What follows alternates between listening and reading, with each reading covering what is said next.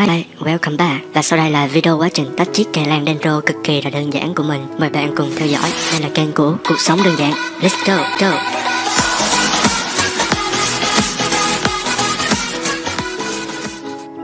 Đây là chậu dendro mà mình đã được tặng cách đây khoảng một năm trước. Đợt Tết vừa rồi thì cây cho ra bông và có lúa thêm vài cái mầm nhỏ. Sau khoảng 5 tháng trồng và chăm sóc Vài lần trích rễ thì mầm đã lớn và rễ cũng mọc tương đối dài và nhiều. Mình nghĩ đây là lúc thích hợp để chiết tách cây con, để cây mẹ còn đủ sức mà tiếp tục sinh trưởng nữa chứ. Và mình thì có thêm vài cái chậu hoa mới để trồng hay tặng bạn bè. Một công đôi việc, quá tiện. Ok, không để các bạn phải đợi lâu nữa, làm thôi. Cách đầu tiên cực kỳ là đơn giản luôn, dùng tay để tách cây con theo đúng nghĩa đen luôn. Thì bạn dùng hai tay để tách cây con ra khỏi thân cây mẹ. Thế là xong. Như mình làm thế này đây. Sẽ có những trường hợp hết sức là đơn giản như này, nhưng cũng có những ca khó hơn, khiến bạn phải loay hoay một lúc đấy.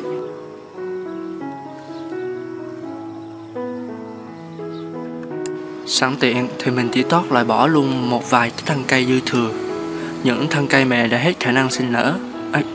Ý của mình là cây đã không còn mất ngủ nữa đó mà. Nhớ sát trùng dụng cụ bằng cồn y tế.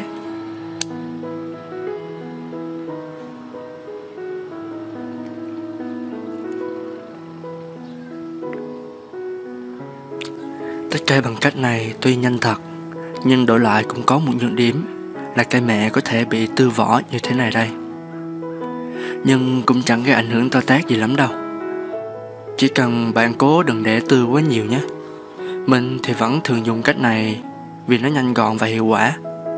Nếu lan của mình có giá trị cao hơn Thì có thể mình sẽ cân nhắc dùng cách số 2 Với cách này thì bạn dùng dao, dao lam, dao kế mô, vân vân. Mình không có nên dùng tạm con dao làm bếp này để ví dụ. Đầu tiên, sát trùng bằng cồn hay dung dịch sát trùng mà bạn có Xịt luôn một ít vào góc nếu bạn thích. Tiếp theo, nhẹ nhàng len lỏi con dao vào giữa cây con và thân cây mẹ. Sau đó, cắt thật chậm rãi đến khi tách được cây con ra là xong. Cách này mình thấy nhiều bạn hướng dẫn, nhưng cũng có một nhược điểm là dễ cắt phăng luôn mấy cái rễ hay cắt phạm quá nhiều vào thân cây mẹ, gây ảnh hưởng tới cây. Nên tùy bạn thôi, bạn thấy cách nào tốt thì cứ dùng. Ok, bước tiếp theo, sau khi đã tách xong hết, mình sẽ dùng keo liền sẹo để bịt vết cắt lại. Mục đích là để không cho bệnh tật hay nấm mốc xâm nhập vào vết thương. Và nó còn giúp nhanh liền vết thương nữa.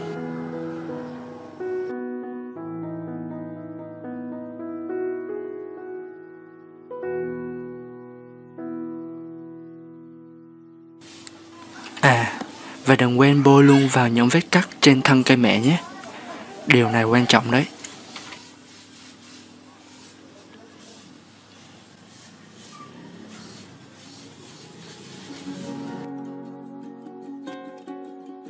Chúng ta sẽ đợi đến khi kêu khô Rồi tiến hành trồng lan vào chậu thôi. Giá thể thì mình dùng ở đây là vỏ thông Việt Nam. Có rất nhiều ở nơi mình sống. Vỏ này là mình đã tự đi lấy. Bạn có thể mua vỏ thông nhập ngoại Hay thậm chí là dùng than củi, vỏ dừa khô, vân vân. Cây lan nói chung là tương đối dễ trồng.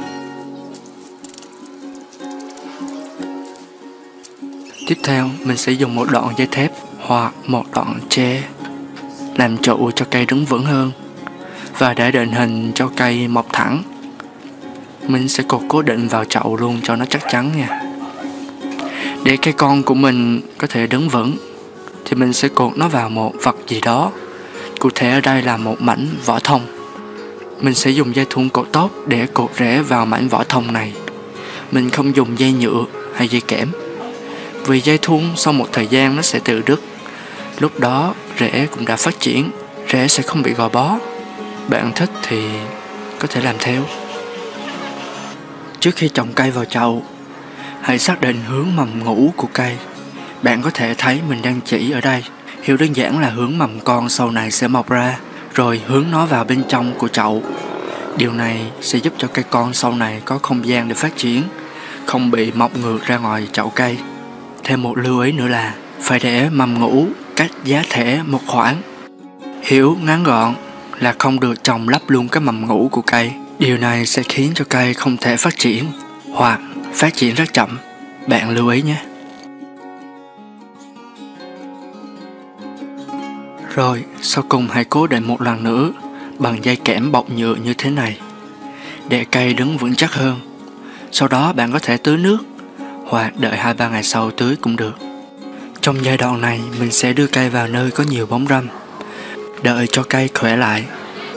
Bạn cũng có thể phun phân bón lá hay bón thêm phân chuồng với lượng nhỏ để giúp cây phục hồi nhanh hơn. Vì rễ lúc này vẫn còn khá yếu.